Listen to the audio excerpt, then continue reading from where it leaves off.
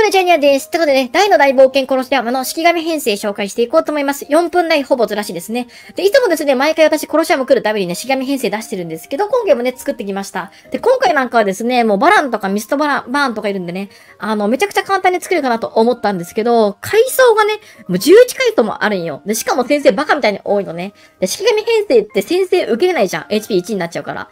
だからダメージモコとか使って受けなきゃいけないんだけど、まあ、そうなってくるとですね、11階層もあって先生も多いとですね、めちゃくちゃ組むの大変でした。せっかくね、バランとかミストバーンとかいるからね、式紙来るかなって思ってたんだけど、まあ、結局結構厳しい感じになっております。まあ、ただね、まあ、待ってる人がいるんでね、式紙編成は投稿します。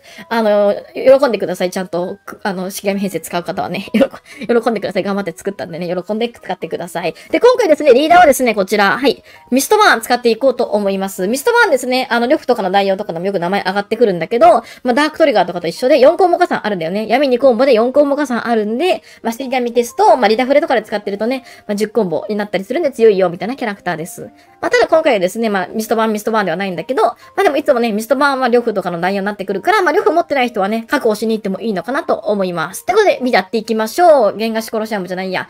えっ、と、大の大冒険殺しアム4分台です。どうぞ。さあ、やっていきましょう。まずはね、セリカ打って、式紙打って、2コンボしていきましょう。はいと、セリカ打って、で、式紙打ちます。で、中で2コンボしていきましょう。はい、いいですね。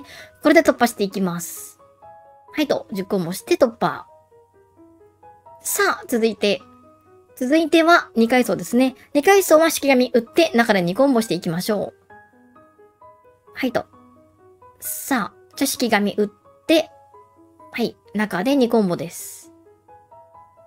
はいと、いいですね。これで突破していきましょう。はいはいと。よし、突破です。さあ、続いて、続いては3階層ですね。3階層サリア打って、式紙打って、2コンボしていきましょう。はいと。さあ、サリアはミストバーの裏についてるんで、あ打って、はいと。で、式紙打って、2コンボしていきます。はい、いいですね。これで突破していきましょう。はい、突破です。さあ、続いて。続いては4階層ですね。4階層フレイヤー打って、式紙打って2コンボしていきましょう。で、もしね、プレナにデバフ来た場合は、式紙打ってずらした後に、フレイヤー打って、式紙打って2コンボしてください。はいと。さあ、このパターンですね。さあ、じゃあ攻撃受けて、で、式紙、フレイヤー式紙打って、で、2コンボしていきます。はいと。いいですね。これで突破していきましょう。はい、突破です。さあ、続いて、続いては5階層ですね。5階層セリカ打って、式紙打って2コンボしていきましょう。はいと。さあ、セリカ、式紙打って、で、はい、2コンボして突破していきます。はい、いいですね。これで突破していきます。はい、突破です。さあ、続いて、続いては6階層ですね。6階層も式紙打って2コンボしていきます。はい式紙と。で、2コンボしていきましょう。はい、いいですね。これで突破していきます。はい、突破です。さあ、続いて。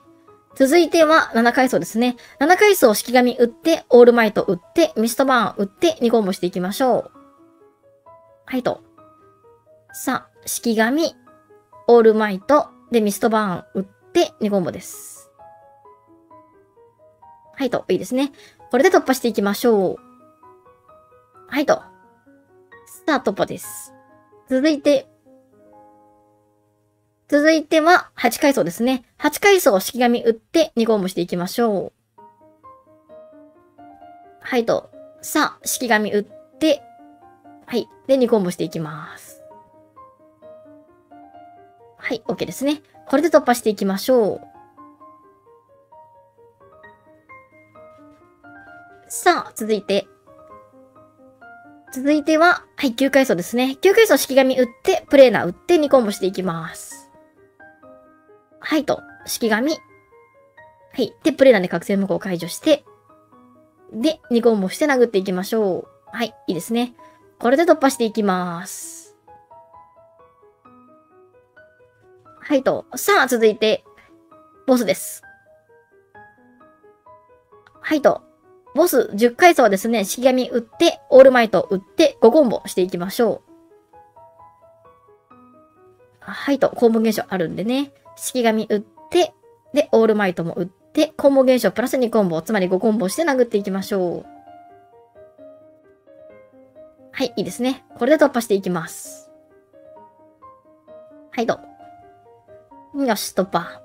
さあ、ラスト、ボスです。はいと、ボスはですね、イーリア打って一旦待ちましょう。はいと、いいですね。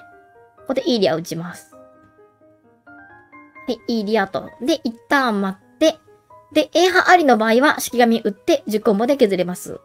はい、いいですね。しっかりと組んで殴っていきましょう。はいと。いいですね。これで突破していきます。で、もしね、エンハズない場合は、ミストバーン打って、闇2列含む10コンボで70%削れます。はい、終わりです。ってことでね、よかったらね、高評価とね、チャンネル登録よろしくお願いします。立ち回りとタイムはこんな感じになっております。はい。今回ね、階層が長くてですね、で、だ先生も多いんで、めちゃくちゃですね、式紙厳しいと思います。はい。で、続いてはね、代用解説していこうと思います。いつも通り代用の前に編成紹介すると、ミストバーンにサリア、プレーナにフレイヤ、オールマイトにヤミセリカ、式紙にアマコズミ、式紙にアマコズミ、ソニックにイーリアです。継承はサリアがスケレベ最大で、他はスケレベ1で OK です。で、代用なんだけどね、今回、ダンジョンが長くてですね、しかもね、先生が多いんで結構狭めになってます。で、必要 HP は33万8253。必要スキルは13で、バッチは HP です。リダフレ逆は NG です。武器の役割と代用候補なんだけど、武器全体でチーム HP が8個、複属性変更闇が必要です。サリアはチーム HP と覚醒無効回復とロック解除とヒーストが役割です。4F 確確定で一旦待ちで、ヘイストなしでも OK ですね。サリーとかニースとか、アオソニアとかキソニアがおすすめです。続いて、フレイヤですね。これは闇エンハンスとリターンヒーストが役割です。サリア枠が、もしね、ちゃんとサリアだったら、イズロキとかイズイズでも OK ですね。続いて、クリスマススリカですね。これは複属性変更闇と自動回復が役割です。これ代用厳しいかなと思います。続いて、アマコズミですね。これはチーム HP が役割です。HP スキルターンに注意して、HP 盛りで OK です。マグニートとか、アマージュとか、レーベンとか、クレハとか、学園左脳がおすすめです。続いて、ハロウィンイーリアですね。これはスキブと威嚇とグラビティが役割です。スキブに注意して威嚇スキルで OK です。メノー系とかオロチとかマドゥがおすすめです。続いて本体代用のための役割です。プレーナはスキブ2で火力枠で覚醒無効回復が役割です。これ代用厳しいかなと思います。続いてオールマイトですね。これはスキブ2で火力枠で属性吸収と無効貫通スキルが役割です。これもね代用厳しいかなと思います。続いてソニックですね。これはスキムリで火力枠でニコンボ加算と固定ダメージが役割ですね。HP 火力に注意して、進化前ハドラーでも OK です。ってことで、以上です。もしね、参考になったら高評価とね、チャンネル登録よろしくお願いします。じゃあねー、バイバーイ